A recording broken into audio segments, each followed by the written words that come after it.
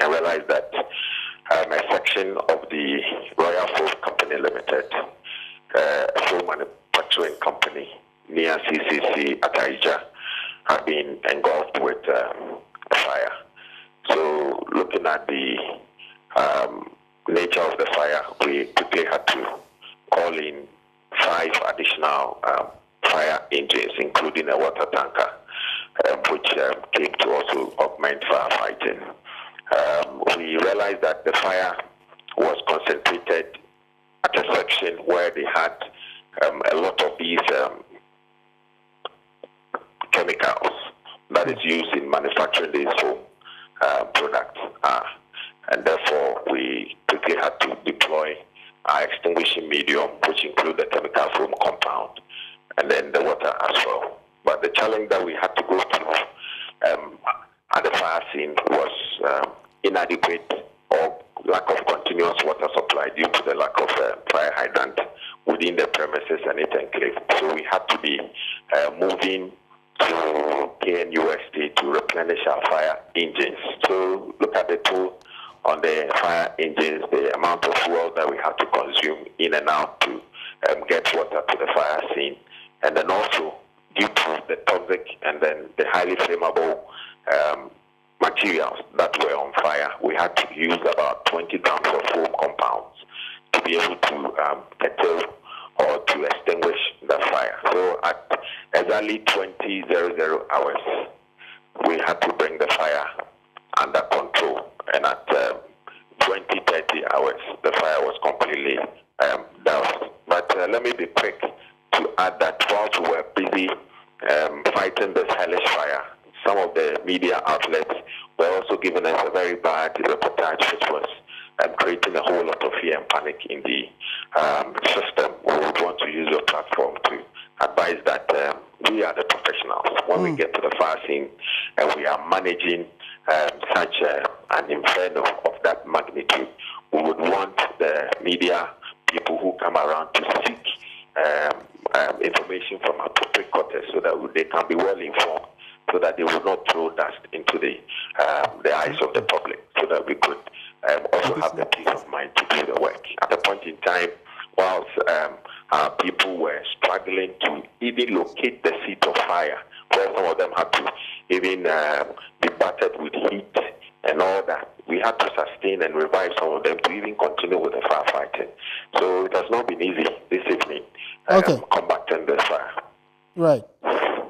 We are, we're grateful for this quick update you have given us, and uh, we thank you for the, uh, the, the work that you're doing with your team there. So the latest information is that the fire has been doused and the issue is under control. Investigations have begun uh, to find out the cause of that fire. We'll keep an eye on it. Hopefully, uh, tomorrow we'll have a better and clearer picture as to what happened in the Ashanti region. Our correspondents are keeping a, clean, a keen eye on that story. Let's come to Accra now. And um, the president's nominee uh, for the position of municipal chief executive for the Tarkwa Nsuaem Municipal Assembly has been confirmed, although some eligible assembly members were uh, allegedly prevented from taking part in the exercise which happened on Friday, which is today.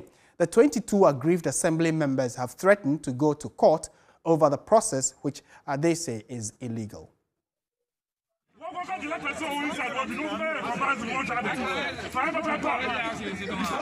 The 22 assembly members were allegedly prevented from taking part in the confirmation exercise of Municipal Chief Executive MCE nominee Benjamin Kessie by heavily armed policemen.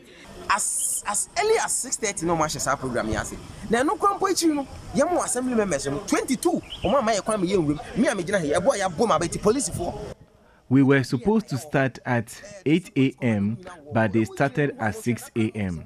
I was beaten mercilessly and prevented from taking part. The MCE nominee was, however, confirmed on Friday by 90% of assembly members present.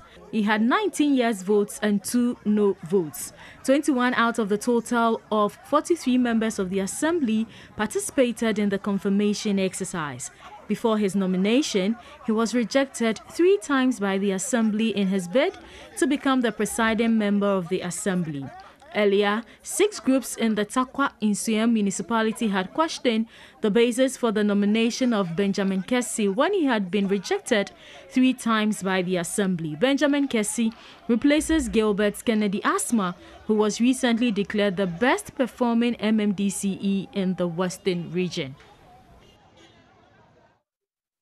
Let's stay on this subject matter for a while. Um, it was actually really heated uh, earlier today when we started getting reports from Tarkwa in Nsuaem. Let's go to Skype now. And here's a bit of a background because uh, it looks like other key stakeholders are also commenting on this. The Chamber for Local Governance, that is CHALOG, says it has noted with grave concern the Rambo-style manner in which the municipal chief executive of the Tarkwa Nsuaem Municipal Assembly, Benjamin Kessie, was confirmed by a deliberately selected number of assembly members. CHALOG wishes to condemn in no uncertain terms the brutality meted out to 23 honorable um, members, including the presiding member, who were further prevented by the police from entering the assembly hall to participate in the voting for the confirmation of MCE nominee.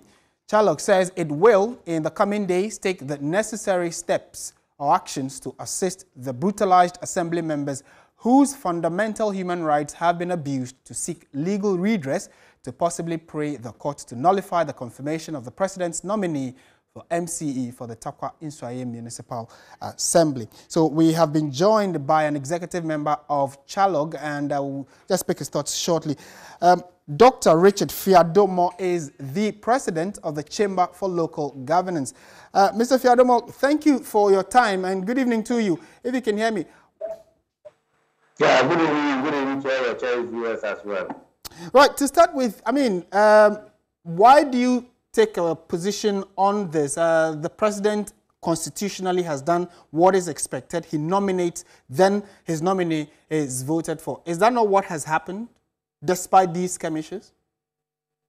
Yeah, thank you very much. Yes, the president has done what he has to do, and what is left is for the assembly members to also confirm the president's nominee.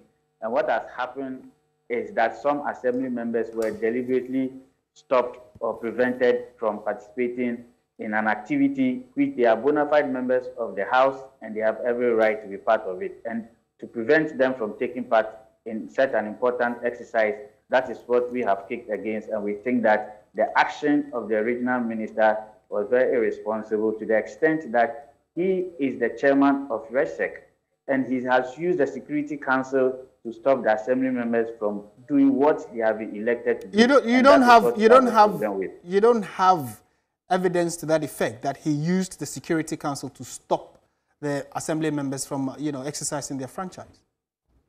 My brother, the video that you yourself just showed, you saw the security men preventing the assembly members. But they were not there on the orders of the, uh, you know, like you're saying, the assembly member, the, I beg your pardon, the regional minister. My brother, the regional minister was there. And he came, if we have 43 assembly members going to confirm an MCE, of what business do we have over 100 security uh, policemen coming to guide? In any case, what normally happens is that the presiding member will just summon assembly members mm. to a meeting to confirm the MCE. Okay. So under normal circumstances, the assembly members should have been seated even before the dignitaries come in. Mm. But we don't have a situation whereby you give the assembly members 8 o'clock and then you go and start the exercise at 6 a.m. Of what importance or what is the need for uh, the assembly not to wait from 8 o'clock to have the exercise and they have to push it to 6 a.m. Mm. Now that you've brought it to 6 a.m., you have not given the opportunity to those who are giving 8 o'clock to participate. Now they come and you have security men at the gate and they will not allow them in. And this is a wanton abuse of power by the regional minister and the RESEC, and we think that this is most, most unfortunate. Okay, uh, quickly, if you can help us also, what are you really seeking to achieve? Is it that you want to get the nominee uh, overturned, or you just want to seek help the assembly members who couldn't, you know, uh, vote? You want to seek redress, help them seek redress. Which of these two are you seeking to do?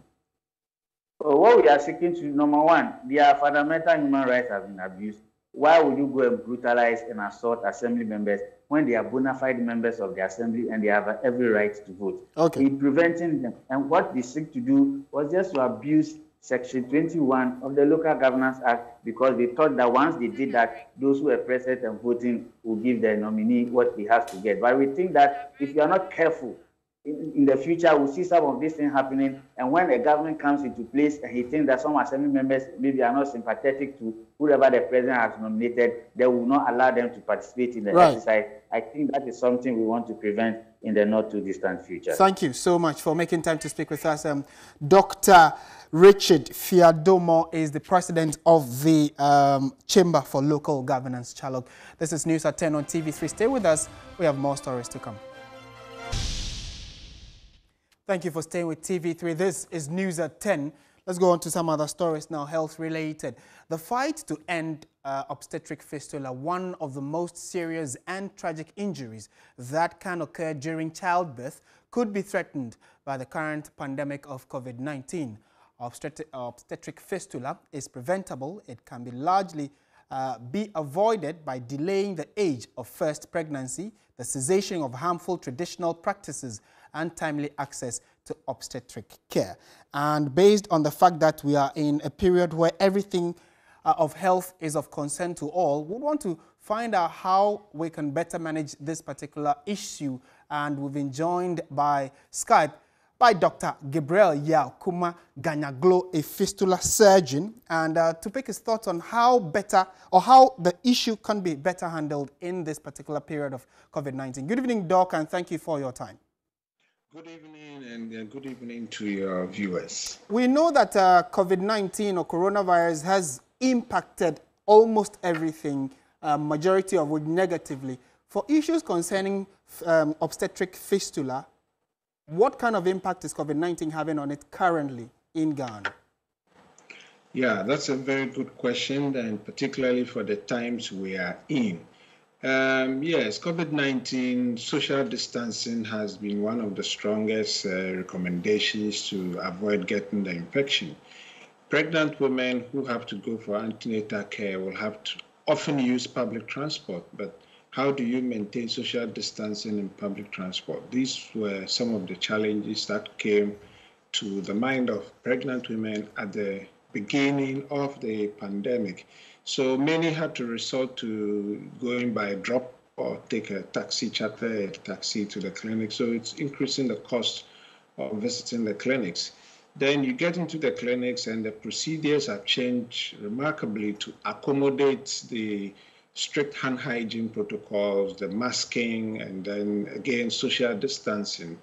And uh, you find that the staffs have also been reassigned and readjusted just to uh, mitigate the risk of acquiring the infection. So, yes, COVID in itself or its wake brought us some adjustments to life, and it could be on the it could be heavy on the pockets of some of our clients. Mm. We are aware that where, especially where fistula is concerned, nearly 68% of our patients who get fistula initially try to deliver at home. Mm. And so they were not deciding to go to hospital at all. We do have concerns that COVID 19 may be another layer of excuse for them not going to deliver in hospital. But it is a fact that generally in this country, antenatal care is almost 100%, mm. but supervised delivery or delivery supervised by a skilled birth attendant is far from uh, 100. It's just Doc, about 80%. Yes. Yes. Can you help us with numbers here and uh, how many, how, how, how rampant is the issue of uh, obstetric fistula in Ghana and how many women estimatedly would you say suffer from this condition? Thank you very much. It's a very good question to ask. We still have obstetric fistula as a maternal health issue in this country. Um, because the patients are largely stigmatized and ostracized and they are in hiding, they are not very easy to count. Mm. But we know that from work we did in 2015, for every year we have about 1,353 new cases of obstetric fistula occurring. I'm referring to new cases. Wow. It's difficult to tell exactly how many are already living with fistula mm. in Ghana. And so every year we also make the effort and we repair about 100 fistula patients because the resources and the time constraints uh, limits how much we can actually do mm. in terms of fistula repair. So putting our repair rate together with the incidence rate, you find that there's a significant backlog of women and girls living in this country who have obstetric fistula. Mm. All right, my final question to you would be, how can we prevent this from happening? I mean, lots of women listening or lots of expectant mothers listening now. What can they do to prevent it? Or it is something you cannot do much about, just that when it happens, you can seek medical uh, help? No, there is something we can actually do a lot about. Obstetric fistula is largely preventable and treatable. Preventing obstetric fistula, it's, the issues are cross-cutting. You need girl-child education to be uppermost let's help the girls to go to school, particularly in rural areas. When we talk of girl child education, most people in the metropolitan areas don't appreciate that so much. But go to rural Ghana and you see the disparities in how boys and girls are raised or even treated. So let's try and get the girls to go to school, learn some biology, and then appreciate or understand a bit about themselves mm. then an educated girl is likely to be gainfully employed and have the economic muscle or even the financial wherewithal to actually, actually negotiate her rights in a marriage relationship. As it is now, most of them lose control, and it is the men who take decisions concerning their pregnancy, where they go to labor, whether they go to hospital or not. Right. It is you know, so those are very difficult situations. So girl child education and family planning. If we can avoid the pregnant or make sure that the pregnancy that will lead to fistula is wanted in the first place, then I think that's a very big step. But to start to see women as late as 38, 39 coming to have their 10th child or 11th child and developing a fistula out of that. This mm. is clearly preventable. Mm. So, family planning is also a very important intervention to prevent fistula from happening. Mm. And we must improve the quality of care in hospitals and encourage all our women to deliver in hospital because if the delivery is attended by a skilled birth attendant, mm. then when the labor is obstructing, it's likely to be seen and the appropriate interventions will be offered to the woman. So we can largely prevent obstetric fistula. Okay. I actually said that was my last question, but just before we know, I know that the 23rd of May has been set aside as World Fistula Day. What are we doing in Ghana? How are we marking the day? Yeah, today we had um, a webinar on maternal health workshop, I mean, the maternal health workshop organized by the UNFPA.